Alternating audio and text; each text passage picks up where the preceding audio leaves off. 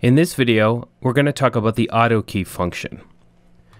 So inside of LoopCloud, you have the ability to search by key and BPM right here inside of the key and BPM tab. If I want to change the key, I just need to hit the key on the keyboard and then choose major or minor if I want to go even further. Now, one thing that's really cool and unique about LoopCloud 2.0 is the auto key feature down here at the bottom.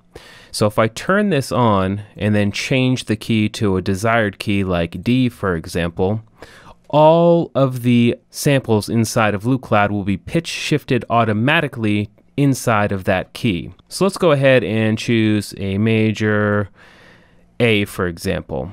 So all of these files have been labeled with the key A major, and if I play one of them, check out what happens to the pitch bar right here. It's been upshifted five semitones to go from A to D. A, A sharp, B, C, C sharp, D. So that's up five semitones. That's perfect. Now, if I want to transpose that down an octave, all I need to do is hit the OCT or octave button.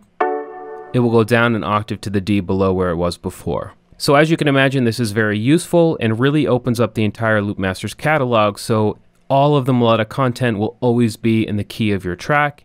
And then when you download the high quality version, so now I have the original and the processed version of this one shot. The original is going to be the A major version and the processed is going to be the D major version and I can drag either of those into my project and use whichever one I want. So that's the auto key feature inside of LoopCloud 2.0.